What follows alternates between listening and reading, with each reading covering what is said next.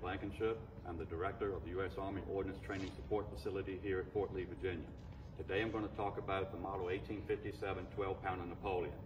This was the workhorse of the Civil War. Both the Union Army and the Confederate Army preferred this gun over all other light field pieces. This is a smooth bore. It fires a round projectile. It's made of bronze. The tube is 90% copper, 10% tin. It's a soft metal. Now, a six-gun battery would be at full strength. Sometimes you had to do four guns, but normally six guns. To operate a six-gun battery, it takes quite a bit of equipment. It takes six guns, it takes six limbers. A limber is a two-wheeled vehicle with an ammunition chest sitting on top. You also have six caissons. You have one traveling forge, which is like a traveling blacksmith shop, and you also have a traveling battery wagon. A battery wagon is a wagon that carries all the equipment needed to keep this six-gun operation uh, going and operable. You also required about 150 artillerymen at full strength, and it also required a total of 149 horses at full strength, so it's quite an operation. Now Napoleon was looking, Napoleon III was looking for a lighter weight 12 pounder in the early 1850s. The model 1841 12 pounder tube weighed over 1,700 pounds. They managed to shave off about 500 pounds, so most Napoleon tubes weigh right around 1,220, 1,225 pounds, making it light artillery. Another reason it was so popular is because it did fire four types of rounds, solid shot, case shot, shell, and canister. I'll talk about those a little bit more in depth later on. Now the ignition system for this gun is a friction primer. It's a hollow copper tube filled with finely ground gunpowder, and at the top is a friction compound similar to that of a wooden match head. Through the friction compound is a serrated pin with a little loop on the end of it. When the gunner calls for the gun to be fired, you pull the lanyard. The lanyard jerks the pin out of the friction primer.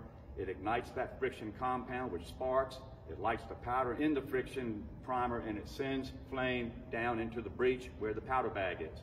The powder bag can be wool, linen, cotton, or flannel. Now, ammunition for this was fixed ammunition, meaning that the ball is attached to the powder bag, but there is a sabot or a sabot in between, a piece of wood that holds them together. So it only takes one ram to load this gun. The rate of fire is about two to three shots a minute. You could fire faster if you cut out certain parts of the drill.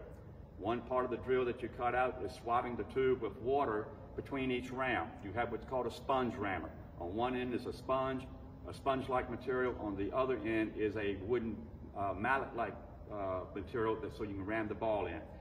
So after you fire the, the round, you sponge it with the sponge, sponge rammer, turn it around a few times, and the purpose of this is to extinguish any embers or, or uh, burning embers left in the breech from the previous round. If you don't do that and you ram the next round down into it, it could ignite immediately. So you would cut the sponging of the tube out to, for, for rapid fire. Another change in the drill would be instead of running each round up individually as called by the gunner, you would bring up an armful of rounds, have them piled up right here, and you get to shove them in as fast as you could. That's very dangerous. Uh, some embers or uh, some rounds hitting that pile of ammo is going to pretty much uh, blow up and take out your crew.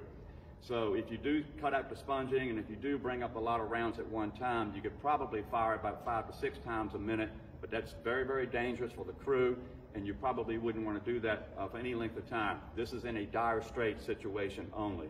Normally, though, you fire two to three rounds a minute. Now, uh, to move these guns or to operate these guns, you had six guns in a row. They would be spaced about 12 yards apart. You could have all six fire at one time, a volley fire. You could have a running fire from left to right. Boom, boom, boom, boom, boom, boom. You could do a right to left firing like that. Boom, boom, boom, boom, boom, boom, boom. You could also fire by section. Every two guns is called a section. So you could actually have the left section firing over here to the left, the center section firing straight ahead, and the right section could be firing off to the right. And then you could also, the gunner could also say fire at will, which means any, any of the six gunners could actually aim at a target individually. So that's how you would operate a six gun battery. This was the weapon, the field gun of the Civil War. But by 1864-65, the three-inch ordnance rifle was becoming the sec second most liked uh, gun of all. Now, uh, the Union produced over 1,100 of these Napoleons. The Confederacy produced around 600. So there are still quite a few Napoleons around to this day. But again, this is the workhorse of the Civil War for both the North and the South.